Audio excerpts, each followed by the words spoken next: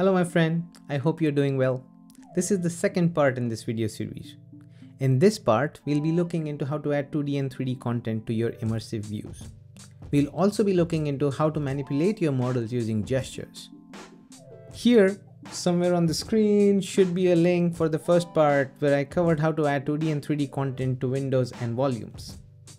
Now let's add two humongous dinosaurs in your space using Reality View and Model 3D.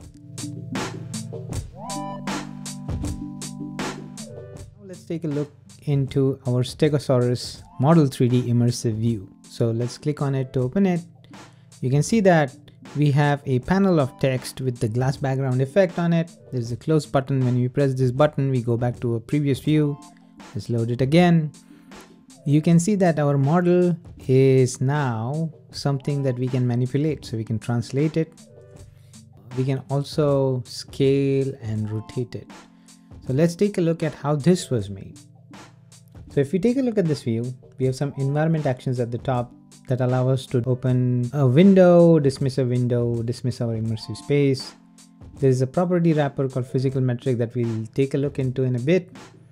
Let's just start taking a look at this view by taking a look at our body. So you can see that here I am in an immersive view.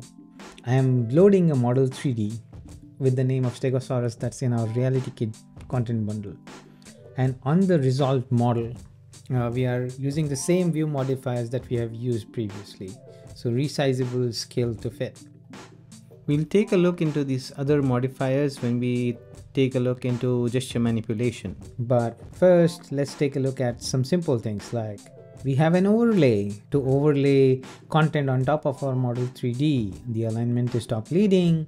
Uh, this is a VStack with a text and a button. The button dismisses our immersive space. And then uh, there's some block of text with some like frame set to it so it kind of appears properly over here. You can see that our button here it only dismisses the immersive space. So how does our home view appear and disappear? So you can see here at the bottom i have the on appear and on disappear view modifiers to this immersive view. So whenever this appears i am dismissing our home view window and when it disappears I am opening the same window of the home view again. Now let's take a look at how to position the dinosaur in your view. So I'm using the Swift UI offset modifiers to position the dinosaur as per my liking. I'm also doing the same thing for the card for the dino where the information of the dinosaur is shown.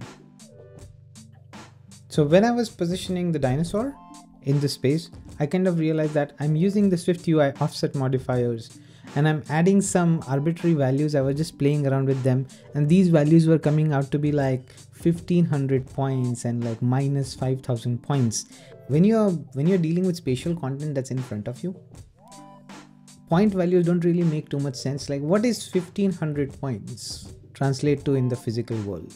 So I was figuring out like is is there a better way to do this? And uh, i found out about this property wrapper called physical metric. So physical metric what you can do is you can set uh, the values for it and these are not editable at runtime. So you basically set them here. So i'm basically saying like the z offset of my dino is minus 3 meters here. And what it does it basically translates your meters value to like swift ui points without you having to worry about it. So here you can take a look that I'm setting the z offset of my dinosaur to be minus 3 meters and the y offset of the dinosaur to be minus 1. You'll be wondering why minus 3 meters, right? So this is the perfect time to talk about the differences between the coordinate systems for SwiftUI and Reality Kit. Here is a nice little visual that explains what are the differences between the Reality Kit coordinate system and the Swift UI coordinate system. So you can clearly see here that for Swift UI, y-axis is pointing downwards. For Reality Kit, the y-axis is pointing upwards. So that's the main difference. So here, the offset is essentially a view modifier that uses the Swift UI coordinates. So our negative z essentially pushes it far away from us. So here I'm saying z offset is minus 3 meters, so 3 meters in front of us. And y offset is minus 1 meter, which means that I want it to be pushed up in the y-axis. So that's why it's minus. So understand the difference is that's why it's minus. So now we want to create this gesture of like manipulating our Stegosaurus. So let's take a look at how this was done. So first, we'll create a manipulation gesture that returns a affine transform 3D. So we are doing a drag gesture simultaneously with a magnify gesture and then also simultaneously with a rotate gesture. So we can simultaneously rotate, translate and scale this model. Then we are using a map on it and then we are basically extracting the gesture components for translation, scale and rotation from it. So this was a helper function that was provided by Apple sample. So I just like copied it here, but let's take a look at what it's doing. So you can see that it's an extension to our simultaneous gesture and you can see that it's a simultaneous gesture that uh, first takes a simultaneous gesture of like drag gesture and magnify gesture and then it kind of adds up a simultaneous gesture of rotate on top of this simultaneous gesture. It's a simultaneous gestureception. What the component function does here, it basically extracts and then we return the translation size and rotation from it. And we are getting those values and we are returning them as an affine transform 3D. We're setting its scale, rotation, and translation. Since we are getting this value, we need something to store it so that we can apply it to our uh, model. So we are creating a manipulation state and we are having two properties in it. One is a transform, which is the affine transform 3D, that's what we are returning, and a state to basically tell us when the manipulation is active. And we are going to create a gesture state variable here that stores the gesture state and we are initializing the manipulation state here. So now what happens is that we apply this gesture here. With the gesture modifier, we can just say that when our manipulation gesture is updating, I want you to bind with this manipulation state. And here it passes us a closure that gives us like the values uh, that we are getting from our gesture. Again, this value is this affine transform 3D that we return here and then the state of it and the state could be uh, when the gesture is active and the when the gesture is inactive. So that's what the closure returns us. So we can store that in our uh, manipulation state. So we can just say whenever the state changes we can save it in our manipulation state. Same thing with the values of our affine transform we are basically saving that here. So we have saved our values in our manipulation state but yet we have not applied them to our dinosaur so what we are going to do now we are going to use the scale effect the rotation 3d effect and the offset modifiers to apply our scale our rotation and our translations. So we can extract the scale from the transform, the rotation from our transform, and the x, y, and z translations from our transform and directly apply it using our view modifiers. And that's how the gesture manipulations get applied to our 3D model.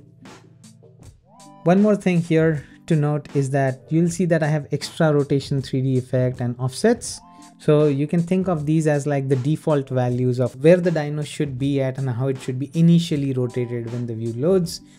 So when there are no manipulations are being performed, our object will return to these original values. The point I'm trying to make here is that your manipulations will add on top of your default values. So you can add your manipulations on top of that. Just something to keep in mind. So now let's take a look at how we can bring the same Stegosaurus to life using a reality view. So right off the bat, when the view loads, you can see some differences. The view has an animation playing on it. You can see that there is a uh, there's a card that kind of shows the information with a nice glass background effect and a close button that takes you back to the previous view. So one thing I would like to really highlight is that whenever you are kind of doing something with an immersive view, I'll highly recommend that you should not use a model 3D. You should stick to a reality view because that gives you more flexibility to sort of play around with things. Uh, Model 3 is mostly suited for like volumes and maybe like attaching 3D content to your 2D views. So that's where it is best suited. In this particular scenario for immersive views, if your model is your main thing, use a reality view. So let's take a look at how this view was constructed. So you can see that in my body, I have a reality view here. Our reality view uh, make closure has content and also has attachments. So our view now is an attachment that we are attaching to this 3D model. It makes perfect sense, right? Like when you say it like that. So you have a 3D model, you're going to attach an information card to it. So that is an attachment and it can be any Swift UI view that you can attach. So let's see how that is done. First, let's see how our model was loaded. That's the first thing we should do. So we have our uh, Stegosaurus entity that's kind of loaded from our Reality Kit content bundle. And here you can see that I'm setting its position, its rotation so that it's kind of positioned sideways and simply adding it to our content. And then I am seeing if there are any animations available on it and then I'm simply playing it. I am also making sure that the animation repeats as it plays. So now we have to create this card. So you can see that this reality view has a different initializer and it takes three closures. One is the make closure that you see here. One is the update closure that we are pretty much doing nothing in it. And then there is the attachment closures, which is where we define the attachments. So here I'm just creating an attachment object and I'm giving it an ID uh, we'll see where the ID is used in a bit, but it's essentially a VStack with some text on it and a button that dismisses our immersive space. It has a glass background effect on our VStack. Okay, so that's our attachment. So what happens is that here I can say, hey, reality view, I have an attachment with the ID of stego info that I have defined here if you find this attachment, you basically add this attachment to my content and then I'll position it. So what is actually happening is your attachment, which was a Swift UI view, now is converted into an entity here. So will be treated like an entity. And the benefit we have of that is that we can position it in meters in reality kit space. So you can see if I'm positioning the Y, in the positive y-axis. I want to push it a little bit up. I'm using 0.5 here. It's something to keep in mind. That's what this view does. It's very simple very straightforward. So so far we looked at how to bring an immersive view in your space that kind of leverages your own environment right? So the dinosaur was in your space. But the true effect actually happens when you put yourself into the world of the dinosaur and really immerse yourself. So we can create a fully immersive environment we're going to take a look at that. So let's just launch it and see what is happening here on this view. So we have launched this view uh, and there's a bunch of things going on. First, we have a animated Brachiosaurus that is humongous. You can see it at its full glory. It's looking very huge. I just have this giant skybox here and I don't really have like a proper environment like a land on which the Brachiosaurus is standing or something. I have uh, some text here on a panel and on that panel I have this small dinosaur here that is just sitting there not animating just kind of like an attachment. So let's take a look at how this view was made. So I have a reality view with the make, update and attachments closure here. So the first thing I'm doing here is I'm loading the environment resource for our IBL, which is named partially cloudy skybox that we've seen before. Uh, I'm saving it into this variable called environment. Then I'm going to simply load our Brachiosaurus from our reality kit content bundle here. And I'm going to position it to where I like. Uh, I'm going to scale it appropriately this is trial and error. You simply go and tweak these values and see where you want to place your content. That's how you set it up. And then you are uh, setting up the rotation for it. And here you can see that I have created a helper function called degrees to radians. let's take a look at this function real quick. It basically converts the degrees to radians by multiplying it by pi by 180. So that's exactly what it's doing. All right, back to this. So our dinosaur is loaded. I'm also checking the available animations and basically playing the animation on repeat on my Brachiosaurus. And then we have already done this before uh, when we were doing the Triceratop portal. We are setting the image based light component on this Brachiosaurus and we are basically passing our environment light as an environment with the intensity of 3. So again, your brightness can be controlled with the intensity exponent here. Then I also need to set up an image based light receiver component on the Brachiosaurus.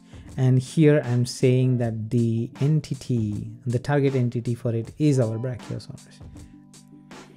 All right, so that kind of finishes the setup for our Brachiosaurus and is properly lit at this point. Then we are going to create this skybox that surrounds everything, right? So we have seen this is the same function that we have taken a look at. It creates a giant sphere applies the skybox textures to it and then we are inverting it. We are flipping it to the inside. So we are creating the skybox.